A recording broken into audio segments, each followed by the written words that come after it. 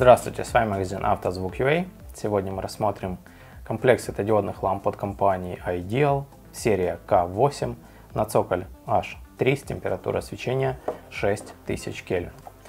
Комплект ламп поставляется в фирменной упаковке. Внутри небольшая инструкция находится и две светодиодные лампы.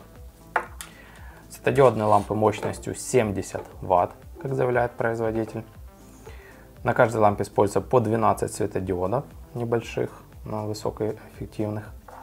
И также две системы охлаждения. Активная в виде кулера и пассивная в виде радиатора. Посадочный цоколь полностью металлический. Подключаются лампы на питание как 12, так и 24 вольт с помощью стандартных разъемов. На проводе питания дополнительно нет никаких драйверов, что заметно упрощает установку и замену ламп под капотом пространстве, где очень мало места. Вторая лампа абсолютно идентичная. Одну из ламп мы сейчас подключим на 12 вольт и визуально посмотрим, как она будет отсвечивать. Подключаем 12 вольт. Вот так вот отсвечивает лампа. Очень и очень яркий световой поток. Цветовая температура заявленная 6000 Кельвин